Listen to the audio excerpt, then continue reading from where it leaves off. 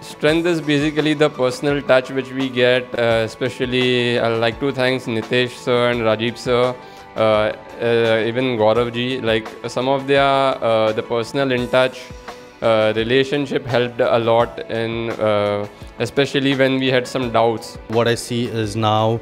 Uh, you know the, the the entire landscape is shifting towards uh, computerized or machine trading and uh, uh, a subset of that comes as high frequency trading and stuff and uh, it was necessary uh, to learn about how this landscape has changed and who the players are. And iRage and Quantinsti are you know uh, from whatever I studied they sounded uh, the most promising value for money and the best. After getting into that program I came to know the each and everything in the market uh, dynamics so before that i am just doing my part.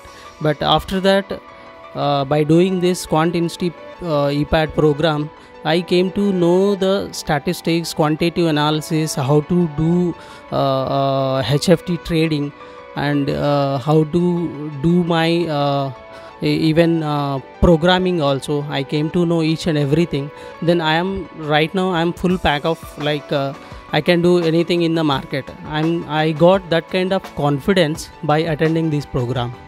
Uh, because EPAT course is the one of the best courses which is available in India uh, for the algorithm trading. I've seen few other courses which were offering in Bangalore and Mumbai, but I felt this curriculum which was designed is much more relevant to the financial markets in the real world. Quant focuses more on the fact that you learn instead of uh, the time span wherein you learn things quickly at uh, in a stipulated time. Job exposure that you would get the knowledge exposure that you get and uh, all i would say it is a field where the jobs are in demand and it will only increase in demand over the years. So possibly epat is the course that you should possibly do